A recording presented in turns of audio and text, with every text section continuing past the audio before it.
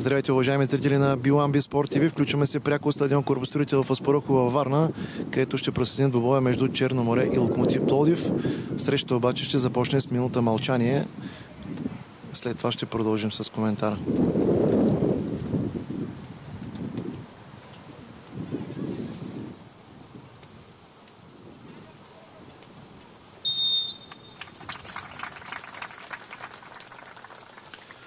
Аз съм Красимир Николов, а мой гост-коментатор днес е Николай Кънчев, наставникът на юноше до 17 години на ПФК Черно море, който след тренировката буквално Виждам го, че изпотен директно идва на нашия коментаторски пункт.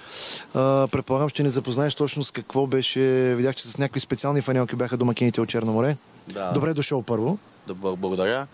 На наш футболист Леве Бек, който беше на обора 2002 година. Майка му преди, може до година, така се получи, че получава инфаркт и почина и в тая чест целият отбор да бъде съпричастен, включително и школата и всички ние сме съпричастни с правилно момчето и тази трагедия, която го съпътства. Наистина похвално. Да кажем, че това е втори кръг от елитната юношеска група до 19 години. Наблюдахте в първия пряко излъчване от гнездо на Орли, Лудогорец и Ботев Плодив завършиха един на един в един от най-интересните двубой. Надявам се днес също да се получи един хубав двубой. Главен съдя на срещата Калуян Цветков от Варна, негови асистенти също от морската столица. Първи асистент Живко Петров, втори Цветомир Колев, делегат на Българския футболен съюз и наблюдател съответно Динчер Каров от Разград. Ето и съставите на двата обора. Състава на Локомотив Плодив добре ще различавате в черно и червено. На вратата с номер 81 капитана Кристиян Томов. Пред него полеви играчи 3 Христо Русков. Чухте и първия серийски сигнал. 69-ти Бождар Зелямов, 15 Петър Петров, 20 Видо Семенски, 29 Николай Борисов, 13 Атанас Манов, 11 Даниел Димитров, 8 Сашо Лебанов, 97 Георги Мавродиев и 19 Мартин Гарабедян. Резерви 33 номер Кристиян Ботев. Това е втория вратар на Смърфовете, четвърти Ставри Юмерски, 88 Иван Арамазов, 21 Даниел Иванов, 77 Антон Коспартов, номер 10 Ангел Табаков, 6 Александър Колев. Водач на тима е Христо Колев, наставник Васил Гърков. Домакините от Черно море традиционно в зелено и бяло. На вратата с номер 1 Стефан Петков, 21 Златин Станков, 4 Росен Стефанов, 11 Берг Джевдет, 24 Димитър Ралчев, 10 Калин Георгиев, 19 Николай Златев, 7 капитана на отбора Мартин Милушев, 20 Пауло Пасков, 8 Тони Иванов и 9 Радослав Златев. На резервната скамейка до наставника Мартин Христов са вратар Галин Григоров с номер 13, 77 Светослав Николов, 22 Алекс Цеков, 16 Иван Томов, 5 Наско Янков, 17 Теодор Тотев и 18 номер Петър Иванов. Сега вече и към очакванията за този двобой на Николай Кънчев. Какво очакваш? Очаквам да стане сериозна битка. Терна е добър за игра, времето е благоприятно, вратаря вече спря. Двата отбора ще играят мъжки футбол. Това съм убеден. Знаем и школата на Локомотив Пловдив, че а, така набляга на, на сериозния мъжкия футбол, бих сказал, нали, така, сериозната игра. И нашия отбор също няма да, да даде а, крачка назад, както се казва. Така че дано обаче да има и футболни достоинства повече, отколкото битка. Да, наистина си му пожелаваме. Тук трябва да пожелаем по-бързо възстановяване на нашия дежурен анализатор, бих казал, Тодор Каменов, който в момента също има лек здравословен проблем. Надявам се следващия кръг отново да бъде тук с нас. Казвам добре дошъл и на Емо Луканов, който след Ягелония сега вече е на стадион Корабостроител. Няма как да не го попитаме и за мнението му малко по-късно. Като треньор на 17 годишните моряци, със сигурност имаш погледи върху 19 годишните. Това ли е оптималният състав, който излиза Мартин Христов и има някои кадрови проблеми така от кухнята да разкриеш? Ами като проблеми са Леве Бек, който има, имаше, има и здравословни проблеми нали, момчето, заради което говорихме, с което бяха целият обор облечени с белите фанелки. А, има и здравословен проблем. Той и още един вътрешен халф, а, добър футболист, който вече има и тренировки с мъжкия обор, който по една друга причина предната седмица отсъстваше и няма нужния бой тренировки, така не е в оптимална форма, затова той е на скамейката. Слав Николов се казва. Аз съм тренирал от 2002 година и 2003 година съм тренирал. Смятам, че днес това е оптималният състав, който колегата е избрал за този матч. Така че мисля, че най-доброто, което е на в момента. Ами, затова сме те поканили, защото си тренирал от 2002 и си наясно, но по принцип почти всички от школата на Черно море така се изявяват, макар че нашия добър приятел Вили Вуцов каза, че като него трудно може да намеря заместник, гост-коментатор. Надяваме се днес да опровергаеш до някаква степен. Поне каза, че Мартин Христов се опитва до някъде, но все още е далеко от нивото на Вили Вуцов. В рамките на шегата, разбира се, тези първи минути виждаме, че играта се води преди от централната част на терена. Нормално е да има някакво проучване макар че мисля, че се познават много добре, едва ли има с какво да се изненадат, според мен. Ами миналата година тези два отбора играха четвърт финал за Купата на България. Ако не греша или полуфинал не мога да бъда точен, тогава Локомотив Пловдив отстрани... Четвъртфинал. Да, четвъртфинал, точно в тази възраст 2002 година отстраниха не с а, така доста голяма доза и късмет, мога да кажа. Така че се познават. А, смятам да, че лошото е, че нямаше лагери тази година за елитните групи и отборите смятам, че все още не са навлязли в оптимална форма и затова първите кръгове ще бъдат малко така футбол ще отстъпва малко за сметка на качеството, нали, за сметка на борбата, поради по причина, че нямат, нямат още толкова игрови облик самите отбори да са навлязли в оптимална форма. Така виждам, че някои от играчите са доста здраво така сложени физически от Локо Плодив. Това означава ли, че ще има така в физиката специално някакъв превес?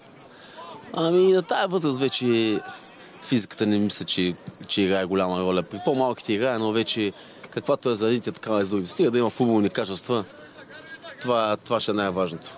Момчета вече не са на така възраст, където може да ги изтрах от, от по-физически здрав футболист. Достатъчно са, са интелигентни да, да го видят сами. Няма как пандемията се отрази на всички спортове. Предполагам, че и на тренировките в Академия Черно море, и на 17, и на 19 годишните, но предполагам, че и за Локоплодив, каквото е същото и за Черно море. Така. Разбира се, едно е също за всички школи, така че това няма, не трябва да е оправдание нито за едните, нито за другите. Някой ако падне и се оправдае с пандемията, ще е малко смешно, така да го кажем, че каквото е за едните, такова е за другите. Но си абсолютно прав, че поне в първите няколко кръга това ще е като стъпване така и напипване на верния ритъм. Да, точно. Поне това е моето мнение. Това виждам аз от, от първика, който сега при нас в, в 17 годишните и при, и при моят отбор, който виждам, и при другите колеги, с които говорих, че трябва време малко отборите да, са, да се сработят и да навлязат в този ритъм, който бяха. Да кажем, че в първия кръг 15 годишните водени от Тодор Каянов победиха, мисля, че Хаско като гости с 4 на 1. А, за кажеш за, за твой първи матч няколко думи? Ами, мога да кажа, че играхме прилично, въпреки че големия резултат, който направихме 4 на 0, но аз лично не съм доволен от толкова от играта. Въпреки че можехме да бием с по-голям резултат, но играта не е това, което трябва да бъде. Съперника си пак да споменеш, не всички са чели резултатите. 4 на 0 срещу Сокол Марково, да. да. Знаем, че той е по принцип крив отбор.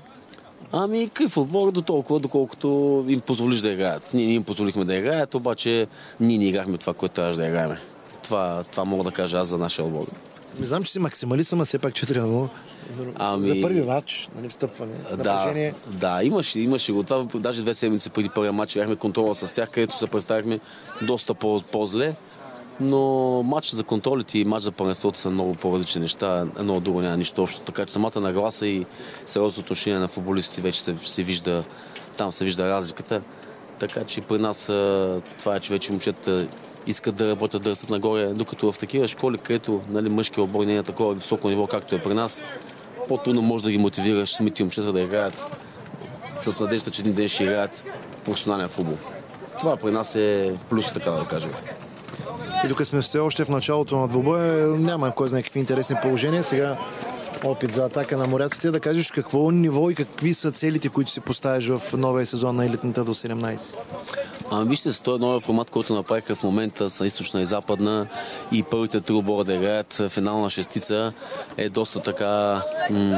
Експериментално? Експерим, да, експериментално, но е доста интересно за нас като треньор. Всеки иска да бъде в първата тройка. Но за да бъдеш първата тройка трябва да покажеш а, доста футболни качества и много добра игра. Значи няма как да си в финал на първата тройка и да покажеш слаба игра. Така че добрата игра идва с резултати и резултатът идва с добрата игра. Едното без другото не може да върви. Така че ми се иска да видя първата тройка от Софийската група, така наречена западна, където вече да се види реално какво ни е нашето ниво. Имаш ли вече фаворити така набелязани, макар и само след един кръг? Поне кои се очертава да бъдат на хартия? Еми, обичайните са, какво, какво е обичайни? За Запад? За Запад, виж, там е малко по-трудно, нямам такова голямо наблюдение там, тъй като нали, по 15 не съм волял аз 0-4, не мога да кажа. Но винаги Левски, ЦСК, Славия са много силен отбор, също много стойностен отбор. Септември, София. Така че това са обои, които на Запад, да, традиционните. При нас, доколкото така се интересувах тук, Ботев, доколкото разбрах, играят една година по-малки, което може би ще е някакъв така минус за тях и плюс за другите обори, че ще, ще им е по-лесно, въпреки че лесно няма на, на Коматево, това трябва да е ясно на всички. Удогорец, Бероес е също школа, която нали, винаги играе едно такова прилично средно ниво. Така че традиционните обори ще, ще са това. И Локо Полев, разбира се. Ще има и конкуренция. Значи да проследим този първи главодор сега за моряците от дясно, че центрира капитана Милушев. Така доста опасно се сви топката, но а, може би вятъра така леко е взе или а, като регламент не трябваше ли според мен поне осмица да бъде първата или така като ще ти одобряваш ли го така? Да. Лично твое мнение? Да, лично аз го, аз го одобрявам доста интересно, тъй като ще има битка и за първите три места, и за вторите три места. Така че няма да има обори, които да им, е, да им е безразлично дали ще бъдат на 5, 6, 7 място. Така че в това естество мисля, че така доста приятно го направиха. А, доколкото разбрах, ще бъде само една година нали, този експеримент, но въпреки... Успешен, да. Да, да. Но ако е успешен, аз нямам нищо против и да се, да се запази така и по-нататък, тъй като при нас в знае го разрешено марас, които са много големи, ако е една елитна. Сега са малко по-малко, по-малко пътувания, така че това за нас като един лек бонус, така мога да кажа. Вие вървите пакет с 15, 15 годишните. Означава ли, че и схемата при тях е същата? Да, да схемата и при 15 17 е една и съща. Еми, няма да питам Камен, но предполагам, че и неговите амбиции са същите да попадне в, в, е, шестицата. А доколкото имаш поглед върху, макар че имаш тренировки на... Но каза, че си доста година време водиш 2002 година. Тази година какво очакваш от най-големите от 19 Макар, че миналата година имаше така ясно изявени 5-6 отбора, дори да кажа и 7-8 и оттам нататък от останалите 8 пък бяха на огромна разлика в, от първите. Не знам такова разделение дали ще има пак. Ами, смятам, че има, да. На тази възраст, да ви кажа, вече много от децата, които виждат, че няма да станат футболисти, прекратяват дейност, се насочват и се насочват към други дейности, нали, прекратяват да играят с футбол.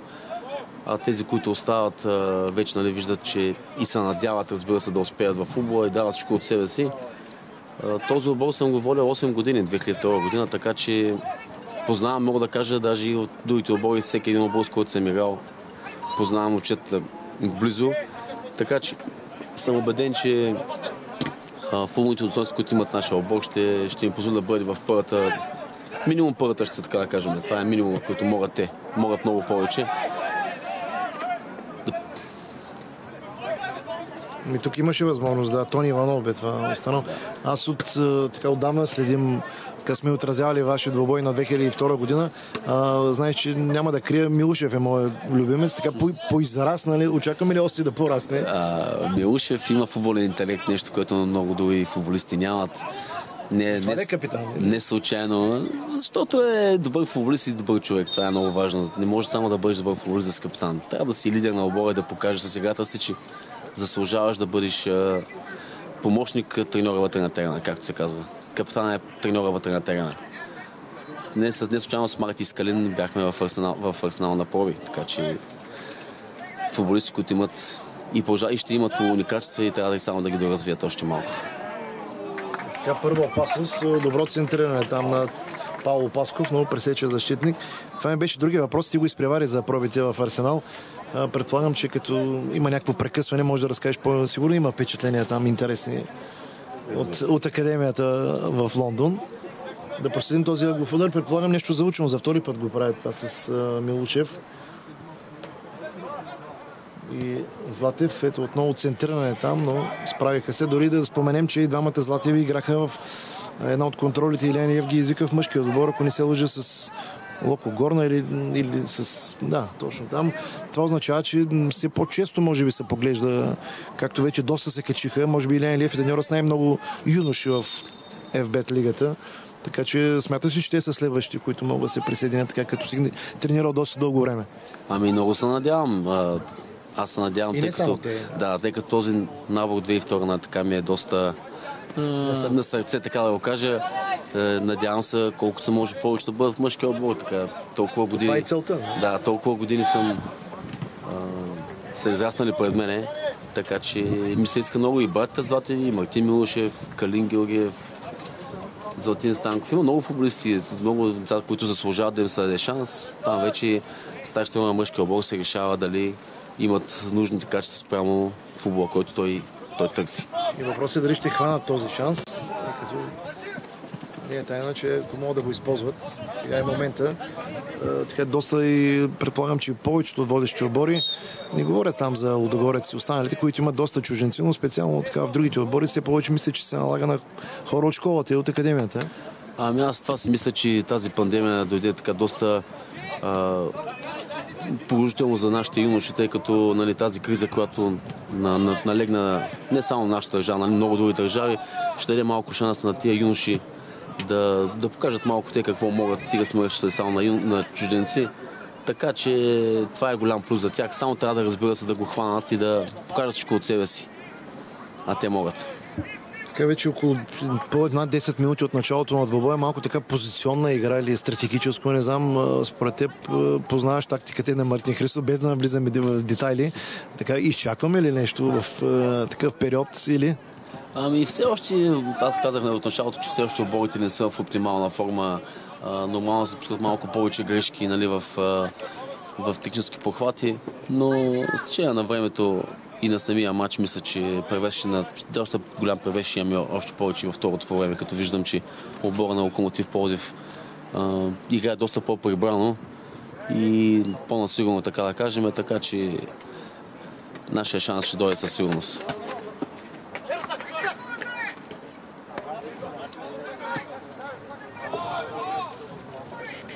Преди малко спомена и за терена и за базата. Тук виждам трите терена, на които мисля, че се използват на максимум.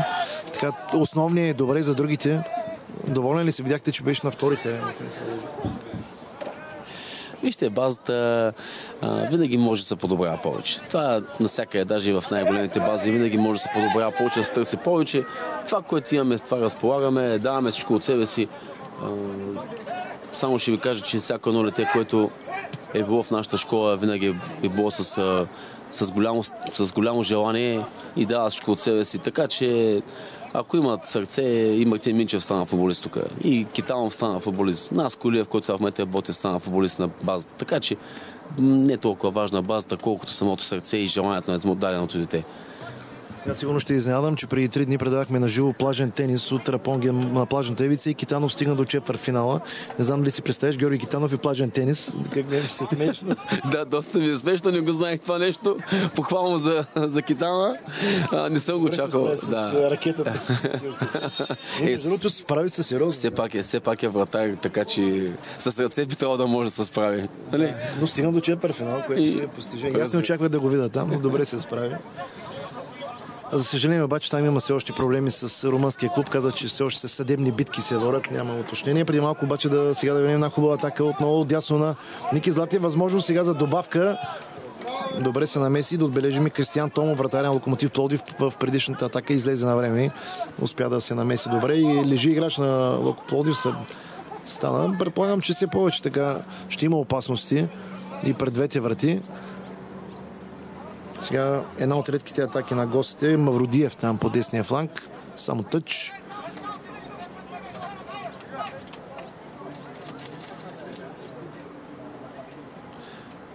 На мен поне е интересно впечатление ми направи предишния двобой. Предахме Лодогорец Ботев. Ботев бяха само с три полеви играчи и вратар. Не ти ли е странно на теб такъв, такава школа, пък с такъв не, малък? Те взеха, те направиха една политика, промениха така малко работа им във всеки набор да има само по 15 деца. А, може би. А, и това до някъде е плюс, че нали, ще се дава повече време на, на ни същи деца. Но пък има и минус от гледна точка на това, че самата конкуренция вече няма И ако няма, Точно, да, няма тримата, които конкуренция, влязаха, нищо да, ако няма конкуренция, нямат, няма развитие едно дете. Един човек трябва да има конкуренция, за да се да, Ако да знае, че да е сигурен титуляр, да. да, това говорим, нали? Така че хемия плюс, хемия минус, а, трябва тия деца, които ги имат. на клуба, да. Разбира се, всяка, всеки отбор, това е разход доста голям, нали? Да имаш по-голям отбор, нали? повече деца да поддържаш.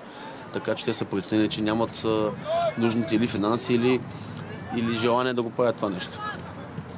Сега малко по-сериозна атака от страна на червено-черните. Така позачистиха пробивите. Ето сега много центриране, без проблеми тук за Стефан Петков. А, да кажем само, че в първия кръг Ломотик от Плодив не играт в бой, тъй като матчът има отложен за 19 август с Нефтохимик. Не знам по каква причина. Сега да проследим още една атака за моряците. Тони Иванов отясно. Центрира няма никой там обаче пред пеналтерията. А Черноморе постигна така поне според мен много престижна победа като гост на септември с 2 на 1 в един порой с бури, дъждове и прекъсвания. Така че предполагам, че е наистина добър старт. Ами разбира се, да, да. Като имате, имаме предвид, че септември са отбор, който а, ако не греша, са винаги в челната тройка и Играха амбициите. финал за купата преди месец с Лудогорец. Да, да, да. И амбициите са винаги да бъдат в, на, на, върху първите места. Така че доста престижна победа за нас, мога да кажа, за школата на Черноморе. Да отбележим, че вече над стотина са феновете тук на стадион Корабостроите и продължават да прииждат. А, Така, сравнително ти по-често наблюдаваш тук двубой. Добра посещаемост, така ли е на всеки двубой? Ами хората не са гледали матч от доста време на юношески футбол, не така, заради пандемията, 4-5 месеца, така че на всички им е мило и драго да гледат а, детски футбол, мога да кажа. Напълно нормално. Радвам се, винаги има публика тук, въпреки че сме нали, малко отдалечени от града, но това е един плюс за децата, че сме по-отдалечени. Мислят повече за футбол, така че да посетим само тази атака. Да, номер трети, Христо Русков пропусна отлична възможност за Локо Плодив по диагонал стреля. Така бе поизпуснат малко, позаспа тук отбраната. Ами да, малко по, бяха по-сгъстени и оставяха малко диагонала свободен, като успя противник Овегач да получи топката левия бек във втора позиция. За наш късмет не можа да оцели рамките на тата. Така предполагам, че и доста пък се разчитат на живото предаване на Биламби, така че, както и ти каза, не само в България, но и във Варна има протести. Тук, особено с Парухова емоция, е много проблемна зона. Не всеки рискува да премине, не знае как ще се прибере по-късно. Както ние си изпатихме вече един преди един лайф. Еми да, аз вчера имах тренировка и аз така един час чаках, но част от, част от как да кажа, битовизмите в нашата държава. Да, така че трябва да гледам малко по, по-ведо на нещата. Един час от живота няма да, да свърши. Стояхме, чакахме, напълно нормално. Въпросът е да долу да се забавляват хората, да гледат децата да дават всичко от себе си. Това е най-важно. Според мен това е най-важно. Самите деца да дават всичко от себе си. Аз ще ги аплодирам винаги, даже да, запад, да загубиме. Но да са паднали с, да са дали всичко от себе си. Да, да играят със сърце, както казваш. Разбира се, да, да, да. Като че и Локомотив така малко живна в а, офанзивен план. Така, отвориха, изнесоха се малко напред. Ами да, имаше 5 минути, които имахме повече, по-голям превес. Сега тия последните 4-5 минути локомотив имаха превес. Може би ще има моменти, в които ще се разменят пътни... А, тук, да, ето видяхме, че не излезе разчекано вратаря Кристиян Томов и главният съдия Калоян Цветков. 19-та минута.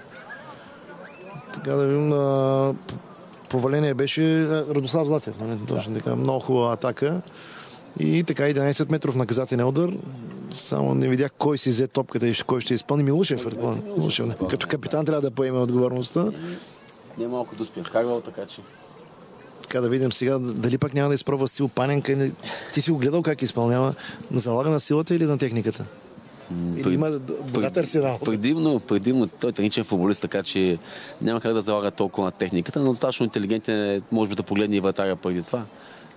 Залага повече на техниката определено. Такъв тип футболист е. Да видим сега Милушев срещу вратаря Томов. Шут е технично елегантно. 1 на 0 за моряците. Мисля, че е 20-та минута вече, ако не се лъжа. Така, с оглед на показаното до момента, заслужено ли повеждат в резултата?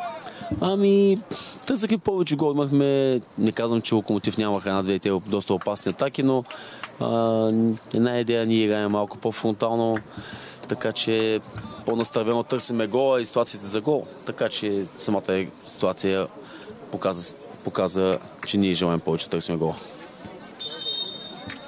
център за локомотив Пловдив, да видим сега как ще отговорят те на удара. Ти в началото на коментара спомена нещо много интересно, че наистина аз бях забравил тези традиционни лагери, които се провеждаха за отделните възрасти. Това до голяма степен помагаше, тъй като няма много такива турнири. Не знам за 17 как е, дали успяхте да намерите доста съперници за контролни срещи или, или пък свирите ли часовниците подобаващо. Сега сирийски сигнал ще има прак свободен удар за Локомотив Плодив. Успя ли да намериш ти поне достойни съперници за контроли? Ами, изиграхме три контроли, мога да кажа. А, не е това, което, което желаях аз като треньор. Исках повече контроли, исках повече и така да, се, да отбора да се комплектува на един тренировачен лагер, където 10 дена да бъдем заедно, да се опознаят още повече, да, бъдат, да бъдем по-сплотени много са важни тия лагери за всички спортове, не само за футбола, като цяло за спорта. Лагерите тренировъчни са много, много сполучил. Те чакаме само това изпълнение, да. да се получи нищо. И за мен лично това беше доста така негативен аспект. Се оказа, че нямахме лагери. Много бих искал да ги, да ги имаш тия лагери. Помагат много на момчетата за тяхното развитие и като личности, и като футболисти.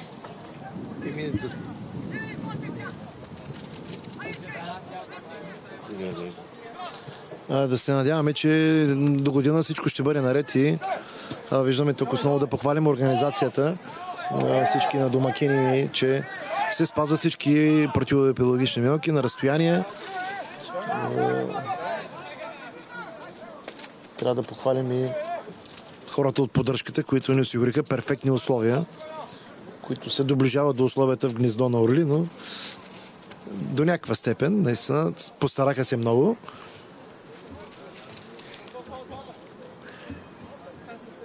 Така че надявам се да очакваме още подобрения тук на базата.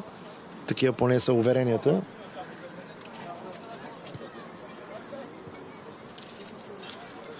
Очакваме сега от Локомотив Плов да видим какъв ще е отговор. Аз не виждам да, да реагират мигновено или като ожилени. Достатъчно време има. Не мисля, че началото на матча те първа матча влиза в, така, в същинската си, си част. Достатъчно време има повече от, от 50% от резултатите се, се как да кажа, от самия матч, от резултата на матча се случва във второто по време, така че те търпеливо чакат своя момент да се надяваме, че лично аз се надявам, че няма да могат да се възползват и да, да, да ни отбележат гол. А както и ти заявите, също Локомотив Плодив са школа с традиции. Особено така да знаем Васил Гърков, баща му е един много известен също от народните специалисти. Така че може би да има някакво надхитрене с Мартин Христов. Познават се двамата, видях, че се поздравиха. Да, поздравям, да. Да, но това си е фейрплей, предполагам всички треньори така го правят. Макар, че имаше така доста изблици на след мача на Ботев с Лудогорец, пак сравнявам с него, тъй като имаше така недоволно от съдиите. То винаги има недоволни. Бригадата беше също Варленска. Така, един на един, но мисля, че Петър Пенчев имаше така по-големи основания, но също имаше и Валентин Станчев, който доста емоционално изгледа двубоя, но мисля, че Лудогорец и Ботев също са с така големи претенции, със сигурност са в топ 5, да не кажа, на елитната 19. Разбира се. А вижте, и Ботев и Лудогорец, както сме и ние Черноморе, Левски ЦСКА, това са винаги школите, Славия, които... Може би, да, и Славия, да, разбира се.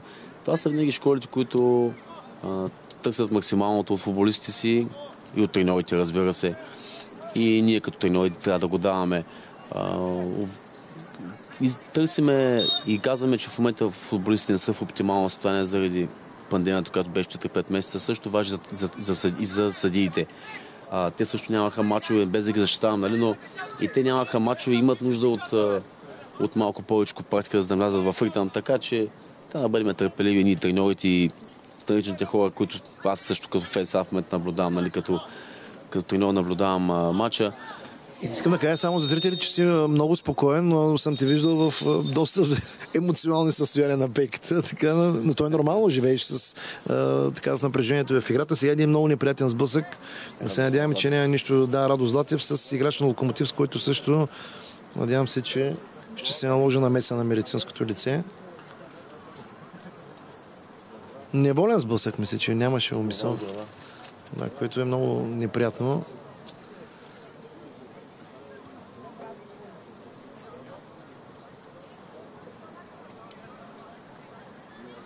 Ами, това е един от основните да, играчи на моряците. А виждам, че играч на Локомотив се поизправи. Явно е по-добре. Ами това го има в играта. Ами има го в играта, да. Това е най- най-страшното, когато е най-вече удар, удар в главата, тъй като знаете, не, че там, там проблемите могат да бъдат най-сериозни и най-нежелателно е да, да има удар в главата, но част от футбола все пак няма никой не е застрахован от такава ситуация. Дано всичко да се разменя възможно най-безболезнено, така да кажем. да обърнем поглед и на другите два терена, тук на базата в Корабостроител. Ти, доколкото знам, помагаш и на друг от наборите. Не, не, не, не. не. Само го... С... Да, са тия, които сме на елитните групи, нали, си работиме само с елитните групи и треньори от по-малките набори а, помагат а, при нас. А, добре, каква е разликата? Винаги е било интересно, когато поемеш най-малките и си така много е по-различно с това, които са вече, които вече навлизат и са големи в футбола. Подхода какъв е? Подхода при по-малките е повече във формата на игри, нали, самият, самото, самия подход към децата да бъде по, по-ведър, повече забавляват. Докато вече с на годините, когато растат, сериозното отношение става доста по-голямо, както от треньора, нали, така и от самите тях. Те трябва също да показват едно сериозно отношение. Още е, че викат линейката, доколкото разбирам, кое, за съжаление, явно ситуацията не е много добре.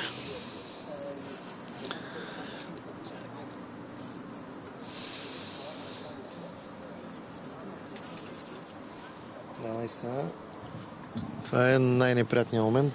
Линейката ще да се надяваме, не знам дали и двамата са толкова тежко пострадали. Виждам, че Локомотив ще правят смяна.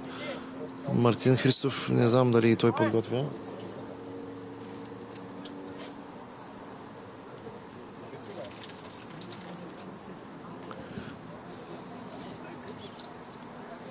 изчакаме да видим. Ти каза, че Радослав Златев е играч на да, Черно море. Очакваме да видим кой е от Локомотив Плодив, който идея наистина е много неприятно.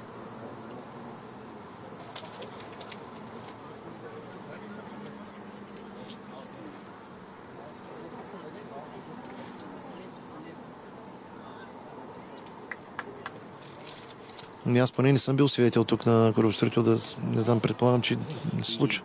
Да, и аз такъв сблъсък, доста сериозен сблъсък беше и аз не съм толкова години, 11 години вече съм тук, не съм виждал такъв тежък сблъсък. Радослав Ватев стана и стои сам изправен, което е похвално, но в облица на локомотив Пловдив още все още не може да се изправи. да. Да, да, да, да няма нещо по-сериозно. Но удара беше наистина доста, доста тежък. Така, виждаме, че влиза и носилката. За феновете на Черно море култовия арш е там в помага за така по-известен сред футболната общественост. Наистина играч на Локомотив най-вероятно ще бъде трансплантиран до спешна помощ. Да, се надяваме, че ще може да се прибере със своите съоборници и най-вече да се пожелаем да няма нищо сериозно. Виждам, че медицинското лице се справя там с налични материали в момента. Бинтова му главата, поне доколкото виждам. Явно сблъсъка е много сериозен. Аз изпуснах да видя къде е Златев, дали ще бъде заменен според теб или на център. Треньорите за След... Христов и разговаря в момента с него. Ами след такъв удар, според мен, като че ли по-добре по-важно е здравето, така да бъде заменен, ама той си знае най-добре. Ами, трябва самия футболист да прецени отделно ли доктора трябва да се каже неговата дума. А, там вече е е думата на трябва да се съберат да решат доктора и треньора и самия футболист в какво състояние, дали може да вземе участие, да бъде полезен на себе си и да няма, да няма последствия след това. Защото имали сме случаи след удар, пътуваме, прибираме с даден матч и се установява, че на другия ден, че футболистът е имал комоцио и играл с комоцио, което е много опасно. Знаем, че след такъв удар вероятността да имаш комоцио е много голяма. При второ падане удар на главата вече има и смъртни случаи. Така че за мен лично аз лично не бих рискувал като треньор да, да оставя разследовател да играе на терена. Това направи в момента и Мартин, Милуш, и Мартин Христов. Да, виждам, че има смяна, така че първата смяна вече е факт. Напуска Радослав Златев. Теодор Тотев ми показва Ники Кънчев. Да, най-вероятно той ще е човека. Минутата едва ли е толкова важна. Да видим сега и кое е момчето от а, смърфовете, което ще напусне така по този неприятен начин на носилка терена и кой ще бъде на неговото място. Готов е, да, неговия избора на Васил Гърков. Жалко наистина, че точно се поразиграха двата обора и се стигна до този неприятен сблъсък.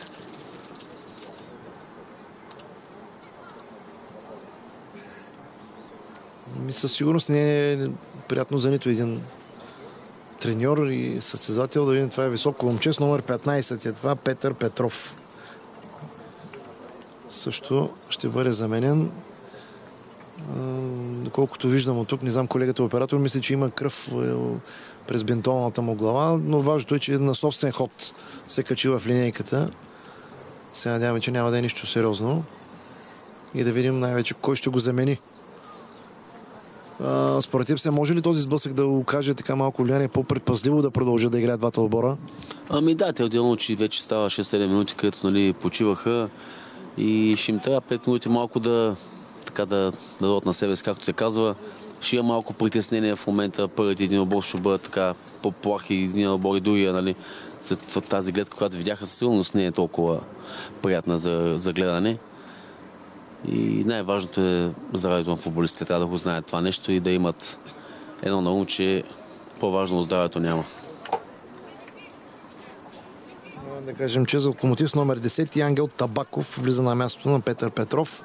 Така че по една принудителна смяна и в двата отбора. Правилно постъпи според мен Мартин Христов, като смени. Видях, че не беше доволен Радослав Златев. Явно, че му се играе, но винаги е по-важно Сега видях, че и част от щаба на Локомотив не е нормално да има предружител в линейката. Еми така, след това принудително прекъсване, както и ти каза, 5-6 минути, надяваме се, че че не очакват те първа интересните моменти.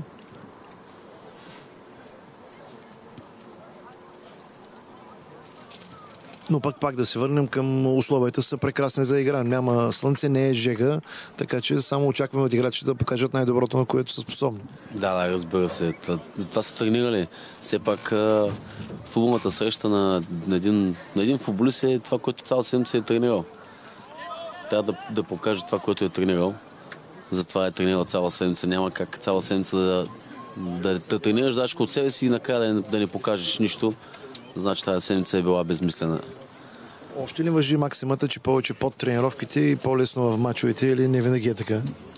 Ами, да ви кажа, хубаво е, когато навика да тренираш на 100%, ти помага в мачовете да даваш всичко от себе си. А това е най-важно в момента. Все повече наблюдавам аз лично като, и като родител, и като тренер, че все по-децата не искат да се влагат, гледат по-лекичко, да, да не се презорват толкова много.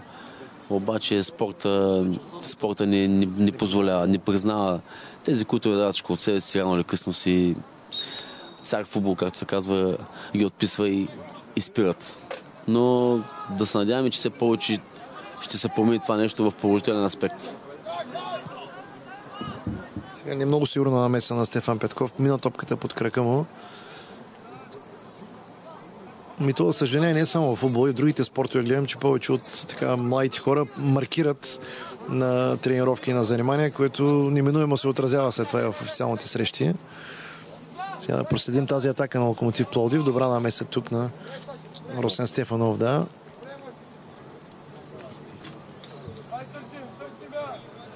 И предполагам, че така ще завърши това първо по време малко в по-лежерен вариант, да?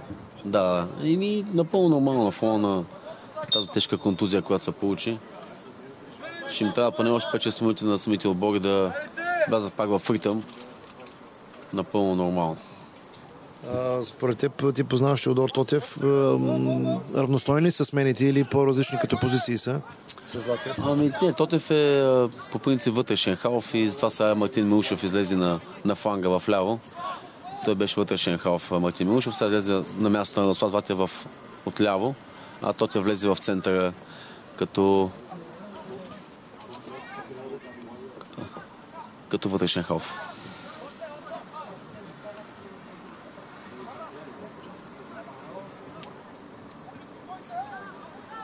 Сега именно Тотев е също него и другата резерва Табаков.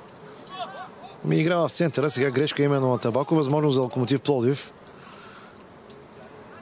Даниел Димитров там с номер 11 се задържа, но както казахме, най-вече между двете наказателни полета и няма кой знае колко положение. Все пак трябва да отбележим диагоналния шут, който имаха възможност на левия бек, ако не се лъжа, Русков беше и не успя да оцели вратата на Стефан Петков, който ме позабравя там защита на домакините. Сега още една битка там в центъра на терена. Виждате колко много непреизвикани грешки от двата отбора. Много бързо загубят владението на топката. Отново го отдаваме на това, че имаше доста голяма пауза. Прекъсване.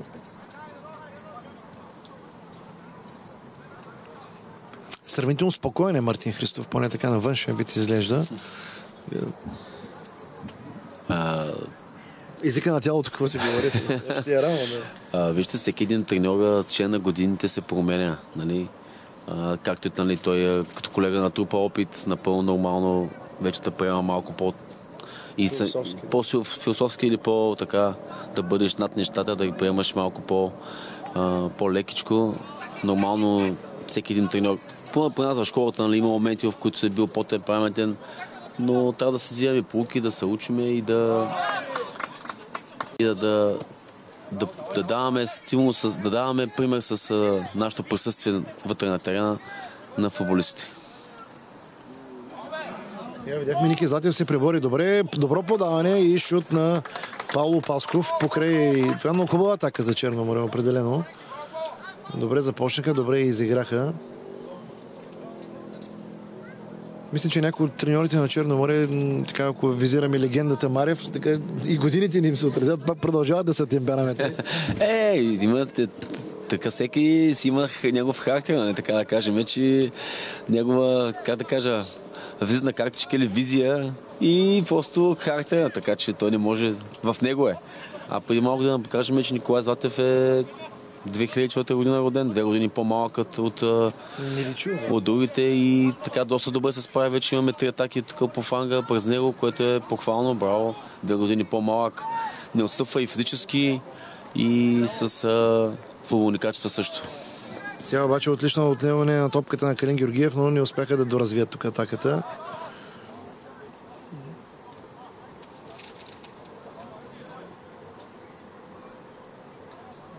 Сега добре се прибориха там и опита се да стреля изненадва. Ще може и да комбинира. Ами Марти Мушев, да, странно тръгна се надбягва. А, доста така вече е подобрил и, и физиката си, бързната си. Спечели си топката, върна се, беше загубил, спечели се отново. Падна му просто на слабия десен крак и там може би трябваше да търси комбинация, не да, да опитва да от този малък да завършва, но така е, такова решение е взел. Така да завършим темата с а, господин Марев. Той ни е приятел, няма да се разсъди. Надявам се, аз, доколкото знам, а, това може би е единствения от школата, който така има, така ги кръщава своите възпитаници с много интересни имена. Доколкото знам, има малък жиру и други интересни. А, ами не знам сега в Нава, който води в момента. За предишния говорих, имаше много. А, да, да, да, Нава от 2000 година. интересни имена. Който да. водеше и така, доста, той от старата генерация, така да кажем, без да се обижда, нали той. това за жиру Да, определено този футболист аз го тренирах а, по принцип наистина на, на, външен вид приличаше на Жиро, без да го отричам. Даже и в момента, ако го видя, мога да ви кажа, че няма да му знам името, но прякора му го знам, да. Но пък така и оригинал Жиро пък продължава да бележи, както виждаме. Ами да, всеки си мисли, че беше свършил с а, така силната си кариера, обаче се оказа, че, че той смени отбора си и продължава да и продължава да се развива. Така тук обаче да отбележим Стефан Петков, може би вятъра го заблуди, изпусна топката е, и в крайна сметка глув удар за локомотив Плодив. Така мисля, че стабилен вратаря, може би вятъра му изигра тук лоша шега пред това центриране. Ами вятъра на моменти спира, на моменти тръгва. По принцип казахме, че времето е хубаво, но тогава нямаше вятър. Сега е доста силен вятър. А тези, които не знаят да кажат, че най-лошото време за футбол е когато има вятър. Значи, ако вали дъжд или сняг, това не е лошо за, за треньорите за футболисти, лошо, когато има вятър. Тогава вече не може реално да се, да се, да се, гледа, да се гледа на, на дадена ситуация, как да се разви най-добре. Тогава вече и топката става нали, по-бърза или по-бавна. Тогава вече наистина футбола отстъпва. И не трябва ли да се сваля на земята в такива случаи? Ами трябва, но тя вятър като е доста силен, даже и по земя пак, пак има съпротивление от вятъра, така че не е желателно. Просто време, най-лошото време за един, за един футболист, за един тренер е когато има силен вятър. Сега доста дълго продължи тази атака на Локомотив Плоди. Справяха се обаче домакините и отново напред към Павло Пасков, сам срещу двама. Само странично хвърляне. С малко играчи са в офанзивни. Виждам, че само 3-4 са в зелено-бяло напред едва ли така виждам, че се предвиждат малко по-бавничко. Ами не, имаха 3-4 минути играта се водиш само в нашата половина и трябваше малко сили да съберат нашите офанзивни играчи, така да могат да се изнесат. Нали, 3 минути само се отбранявахме, което е напълно нормално да се изчерпали малко от силите им, да могат да се заредят отново. Така че сега ще вече преляха в тяхната половина. Когато го гониш топката, напълно нормално се измагаш повече. Така се получи нашите футболисти на Черномое. Така сега, ако те владеят повече топката, ще съберат повече сили, отбора на Локомотив Пловдив ще се измори повече. Напълно нормално. Според теб ти каза, че Милушев е универсален футболист, е така малко непривична зона за него, но мисля, че ще се справи в тази ситуация като ляв външен. Ами, аз съм мнението, че интелигентният футболист и умният футболист той има така а, сходно може да играе на всяка една позиция. И най-вече добрия футболист. Един добър футболист може да го сложиш и вратар, даже да играе нападател и бек да го сложиш и централен защитник.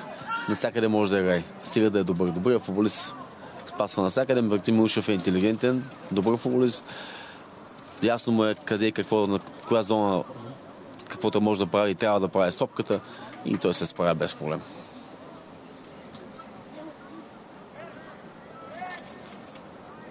Като по-малък е играл и като ляв външен, и като десен външен. Така че не му е чужда тази позиция. Така мернах за момент Мартин Христов, като че започна да поизпуска парата. Така да, да кажем, че негов асистент е Иван Николов, който също така, да, предполагам, да. помага с каквото може. Разбира се, по принцип в елитните групи всеки старши си има помощник. Иван Николов помага, че той е ако не реша или трета, не мога да кажа, на на Мартин Христов. Това е кой е? А, Георги Попов. Да, също легендарен вратар на Черно море. Предполагам също ти е от помощ не само за вратарите. Разбира се, разбира се. Всеки а, винаги аз като старши се опитвам до, до моя колега. Неговото мнение за мен е важно. Аз така работя. Смятам, че така е редно. Даже и Капело си има 10 човека помощници и искат тяхното мнение вече той взима крайното решение, така и при нас, нали. И смятам, че от колегиална гледна точка е, това е най-правилното. Да кажем, така ги подкарахме и на анализатора Каменов, кой му помага. А, Мирослав Мирчев му помага. Той води малките 2010, ако не греша. И помага на колегата Каменов. Който надявам се, че не можа да присъства, но слуша нашия коментар. Предполагам на полувремето, ако има забележки, сигурно ще а, сигнализира своевременно. Сега първи жъл картон, мисля, че за това нарушение аз не видях да има някакъв такъв сблъсък. Да. А за реплика на Ники Златев, да. Мето, това е Казвам, че младите много лесно така си вадят картони така и, и си изпускат нервите. Ами, там вече трябва, може би... Добро не носи Разбира се, да, да, да. Там вече трябва да работим. Аз съм казал това, което аз казвам на моите футболисти, че а, единствено аз отвънка нали, мога да реплектирам върху съдята, но те вътре не трябва да, а, да показват а, негативност или положителна страна спрямо, спрямо съдиите. Да, това е показано, че когато един футболист а, направи грешка лично себе си или пък негативно е поступил спрямо съдята и е показал нервите си, следващите една-две минути този футболист не е, не е адекватен и го няма вътре на терена, така че това е в голям минус за, за целия обор.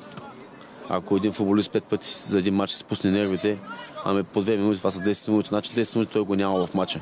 10 минути този, наш, този обор е играл с един човек по-малко. Това е, това е жалко. Така че трябва да се научиме на, трябва да се научиме на повече уважение. Сега още една интересна ситуация. Тук мисля, че по преигра малко играча с номер 20. Имаше сблъсък между двамата, но виковите, които нададе, да се надяваме, че не е нещо сериозно. Аз не видях поне. И аз не видях, може би футболът беше Имаше... паднал, паднал с гъб към нас и не видяхме, ако имало някакъв удар. Червен картон. Павло Пасков. Еми, може би след асистента там, които се консултираха, явно имало удар без топка, може би. Ами аз лично не видях, не знам дано. По тази позиция, където сме ние, не видяхме нищо.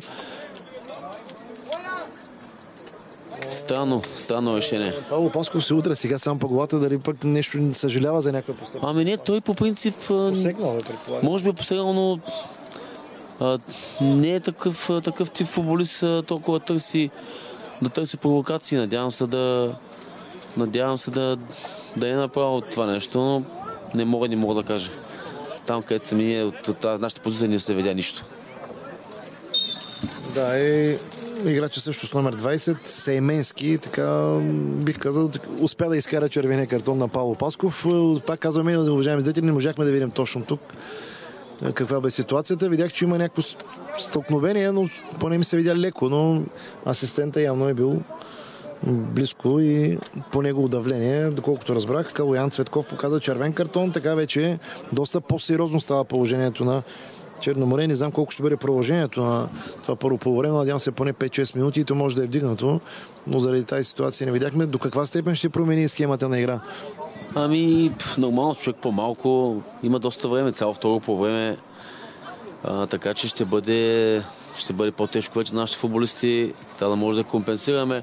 Но в много от случаите а, когато един човек от отбора излезе по някаква причина, дали контузия или него, да, тия 10 човека се мобилизират и играят даже по-добре от 11, да могат да се получи така пред нашия отбор, за да, за да се поздравим с добра игра и с а, победа.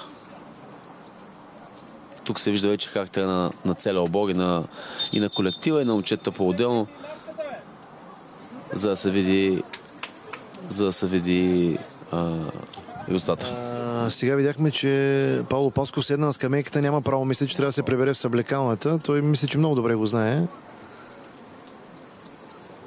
Нали, както казваме, ако мине, но не мина номера и трябва да се пребере. Може би отиде да се извини на треньорския щаб, така поне ми се стори на мен. Ами да, и аз така видях, той е възпитано момче. Може да допусна. Съжалява, да. да, съжалява, може да допусна някаква такава грешка, неволна за част от секундата си изпуснал нервите. Може би ти да се извиня, аз така се го обяснявам. Достатъчно интелигентно момче, така че да, да заяваме се да се вземе, да се вземе полука. Това не е важно. Всеки греши. Въпросът е да не се повтаря грешките. Така видяхме дори, че бе поздравени от треньора на Локомотив Плодив, така съжалява, но сега с неговите съоборници да видим как се справят с човек по-малко. Най-вероятно, ако има някакви размествания, вътрешни рокади, Мартин Христов ще ги направи на полувремето. Тъй, че очаквам пак казвам, не знам колко е продължението. Очаквам скоро да бъде сложен край на това първо по време. Ами той Павло Паско беше на върха на атаката заедно с а, Тони Иванов, така че просто ще се играе, напред ще се само с един нападател, това, което аз виждам. И ще се останем 4-4-1. Това, което тук виждам аз на повечето. Просто напред ще има само един човек. Трябва да се компенсира неговата липса.